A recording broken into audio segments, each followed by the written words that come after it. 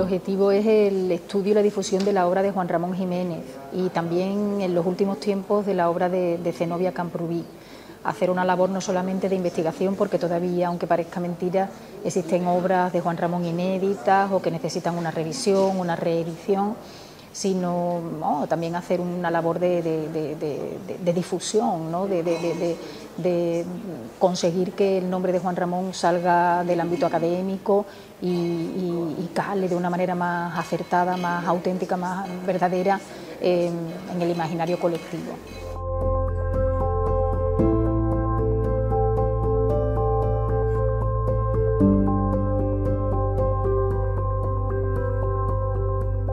Yo he trabajado en el workshop sobre un proyecto muy poco conocido de, Juan Ramón, un proyecto en principio radiofónico que se llamó Alerta, eh, que iba a desarrollarse en Washington en 1943, que finalmente se frustró porque hubo desavenencias entre Juan Ramón y las instituciones de, Estados Unidos que habían en principio contado con él para este proyecto.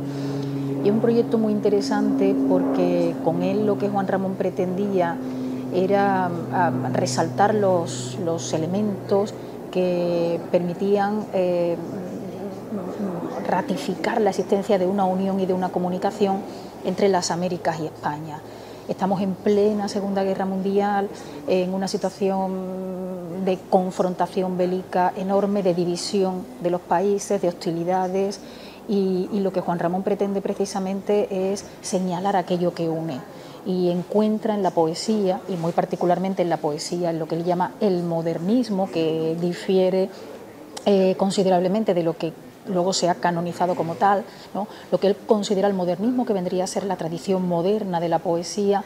como un elemento eh, eh, que puede unir en lo interior a distintos pueblos. Lo hace argumentando con poetas de las dos orillas, poetas de América Latina, de los Estados Unidos, de España, que habrían coincidido en una especie de diálogo en lo humano más profundo que para él sería lo que habría que reactivar para acabar con un patrón de beligerancia, de confrontación y de odio que desde la guerra civil, Primera Guerra Mundial, Guerra Civil y Segunda Guerra Mundial parecía estar instaurándose en la civilización.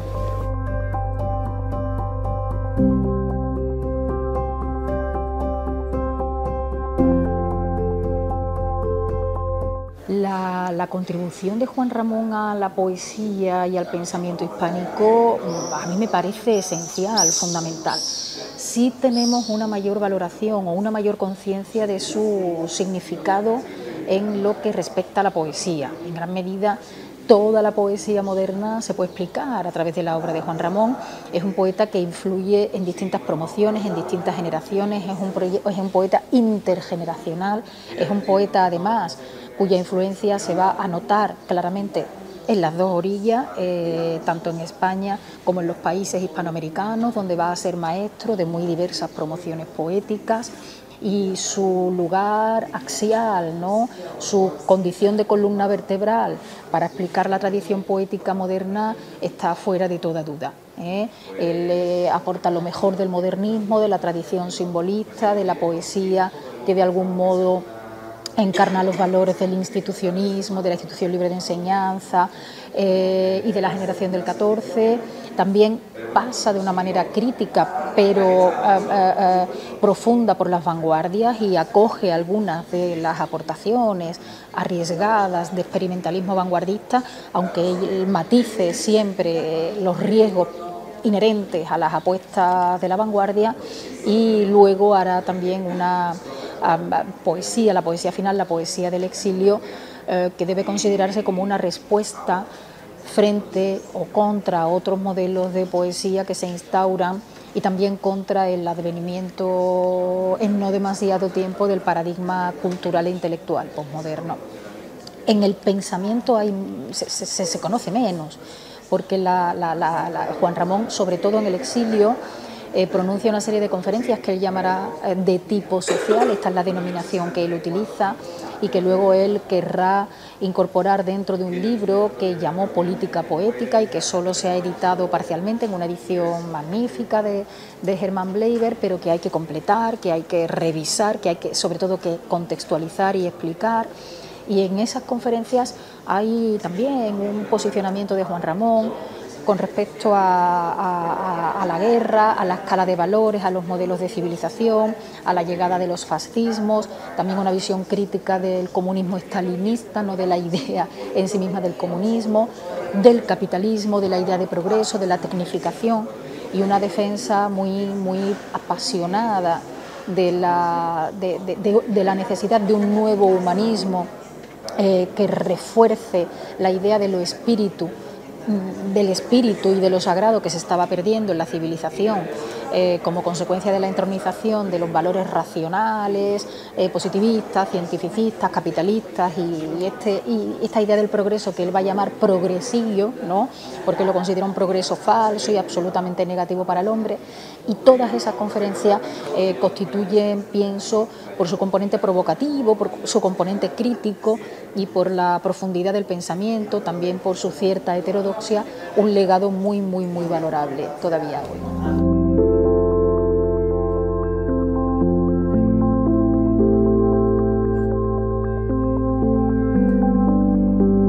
Bueno, mucho. El matrimonio con Zenobia Camprubí es importantísimo, es determinante para Juan Ramón por varias razones. Eh, de forma más concreta, podría mencionar quizás algunos aspectos, ¿no? De forma concreta, eh, su conocimiento de la poesía en lengua inglesa, eh, bueno, que, él ya tenía bastante conocimiento gracias a una relación anterior que mantuvo con una mujer, con Louise Green, que tenía también una formación importante y un conocimiento importante en lengua inglesa y en literatura en lengua inglesa, pero este conocimiento se refuerza con, con Zenobia Camprubí también desde el punto de vista de una transformación que Juan Ramón venía experimentando desde, el año 1912-1913. Eh, Zenobia va a ser un argumento, un empujón para que esa transformación se produzca. Él ya venía ah, cansándose en cierto modo de una actitud muy melancólica, muy pesimista, muy negativa, eh, que había marcado su poesía anterior, muy en la línea y en la huella de la tradición simbolista, de la tradición eh, modernista. Y, él mismo entendía que, esa actitud eh, un tanto negativa, melancólica, sufriente, quejosa y, y misántropa, en cierto modo mm, constituía un freno para algo que para él fue siempre muy importante, que es eh, dotar a la actividad poética de una dimensión ética. Y en esa búsqueda de eh, encontrar la dimensión ética de la poesía, hay dos aspectos que ocurren casi paralelamente que es su reactivación con, la, con el krausismo, con la institución libre de enseñanza, con Giner de los Ríos, que son planteamientos eh, muy ah, mm, optimistas con respecto a la posibilidad de la mejora de la sociedad a través de una serie de instrumentos y, este talante, este talante muy de eh, colocar la cultura, la literatura, el arte al servicio de la mejora social. Juan Ramón la canaliza a través del krausismo y de su eh, incorporación a la residencia de estudiantes y sobre todo la figura de Giner de los Ríos, de Cosillo, van a ser en este aspecto fundamentales, también Ortega y Gasset, y luego justamente al mismo tiempo conoce a Zenobia que, viene a ser una especie de encarnación viva de esto, del, optimismo, de, la visión de la, poesía como, y del arte y de la cultura como algo eh, que puede ser más bien un puente de comunicación con el todo, con la vida, con la sociedad, que una manera de mostrar el divorcio con el mundo o el extrañamiento con respecto a la vida, ¿no? Y, hay un intercambio epistolar durante el noviazgo de Juan Ramón y Zenobia interesantísimo porque nos muestra hasta qué punto Zenobia es determinante en este cambio poético de Juan Ramón. ¿no? Cartas en las que ella le va censurando determinados libros de poemas eh, eh, eh, y aunque él protesta ¿no? y se queja y, en algún momento parece que, le molesta esta censura que, que, Zenobia manifiesta con respecto a su, a su, tono poético más melancólico, en el fondo sabe que tenía razón, ¿no? Y que, y que para él iba a ser determinante mm, mm, pasar de ser lo que Zenobia llamaba el poeta lunático, ¿no? El poeta marcado por la luna, por la noche, por el aislamiento, pasar al poeta del sol, ¿no? Eh, que vemos ya el diario de un poeta recién casado, donde la luz, eh, la apuesta por la vida, eh, por lo soleado, por lo luminoso frente a lo sombrío, lo melancólico, se produce. Y por supuesto ya en el exilio Zenobia va a ser una figura fundamental para que eh, todo el proceso de creación de la obra de Juan Ramón, que es muy compleja y que se desborda, ¿no? porque la capacidad de Juan Ramón para escribir y para llevar a cabo diversos proyectos al mismo tiempo era absolutamente eh, asombrosa, pues para que todo esto tuviera un orden, ¿eh? un archivo, una organización, la figura de Zenobia va a ser fundamental, ayudándolo a ordenar, organizar, mantener contactos epistolares con editoriales, con distintas figuras del mundo de la cultura que en cierto modo van a permitir a Juan Ramón eh, eh, eh, no mm, hundirse en un mar de proyectos y de papeles que, bueno que todavía hoy constituyen parte de, de la sala Zenobia Juan Ramón Jiménez pero que, tienen algo, algo de,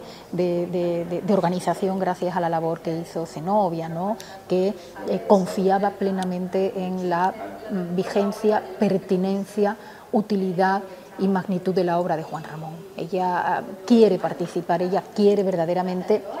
que la poesía y que el pensamiento de Juan Ramón eh, se conozca. Ella confía absolutamente en, esa utilidad, pertinencia, eh, maravilla ¿no? de la obra Juan Ramoniana y para ella va a ser un,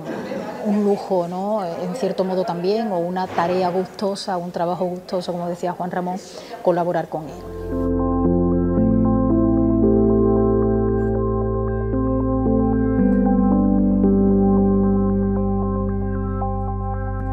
La relación de Juan Ramón con Hispanoamérica empieza muy pronto, ¿eh? porque en gran medida sus inicios poéticos ah, están vinculados a un poeta hispanoamericano como es Rubén Darío, que va a ser su gran maestro hasta, hasta el final de su vida, aunque hay algunos momentos de discrepancia y de distanciamiento con respecto a algunas de las poéticas darianas, para Juan Ramón Darío va a ser como él mismo llama, mi Rubén Darío, no va a ser su Rubén Darío, va a ser su maestro hasta el final, ¿no? Eh, pero sobre todo se refuerza, hay un momento también, ¿no? En el periodo en el que Juan Ramón vive en residencia de estudiantes, en el que contacto con algunos intelectuales hispanoamericanos como Alfonso Reyes, como Pedro Enrique Jureña, también es importante y también es determinante pero sobre todo, decía, es en el exilio donde esta vinculación con Hispanoamérica se refuerza. Em, es,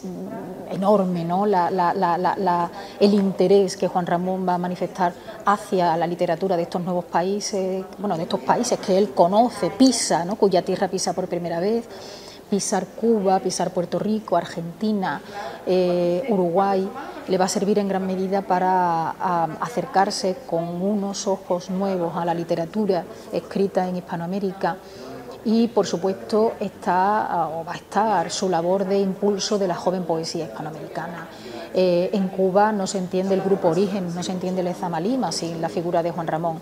Juan Ramón, a partir de ese coloquio que establece poético con un jovencísimo Lezama Lima, se convierte en una figura eh, tutora y absolutamente magisterial eh, para el grupo Orígenes, eh, que es un grupo poético de una dimensión enorme en la literatura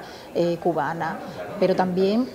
hace una labor importante de activación de las jóvenes promociones poéticas en Argentina, en el viaje de 1948, cuando, repitiendo algo que ya había puesto en práctica en Cuba, eh, se involucra en la organización de un concurso de poesía para jóvenes y, se va a esforzar por seguir a muchos de estos jóvenes poetas, jóvenes poetas mujeres también, eh, con las que va a seguir manteniendo relación epistolar y cuya poesía va a impulsar. para Juan Ramón, eh, el Juan Ramón del exilio, el futuro poético estaba en gran medida en Hispanoamérica, la joven poesía hispanoamericana es la que se vuelca. ¿eh? de manera que, la relación que va a mantener con este tipo de poesía es importantísimo. También hay que tener en cuenta que un poema esencial de la obra poética juan ramoniana, ¿no? muy influyente ya en generaciones poéticas posteriores como es Espacio, se publica en, una de esas en sus primeras versiones en México y va a encontrar allí una recepción entusiasta que siguió de un poeta como Octavio Paz. Entonces, ese magisterio, incluso sin que Juan Ramón pise México, también se va a producir en México, que es un país en el que Juan Ramón publica muchísimo, sobre todo en la, en la, primera mitad de los años 40, y, el hecho de que ahí aparezca espacio, por ejemplo, ¿no? que va a ser recibido con asombro y con, y con, verdadero, con verdadera fascinación por jóvenes poetas como Octavio Paz, es otra pista más acerca de la influencia enorme de Juan Ramón en la poesía hispanoamericana y sobre todo de el enorme interés que él va a mostrar, especialmente en el exilio, por la poesía hispanoamericana en general, ¿eh? por los clásicos y sobre todo también por los jóvenes.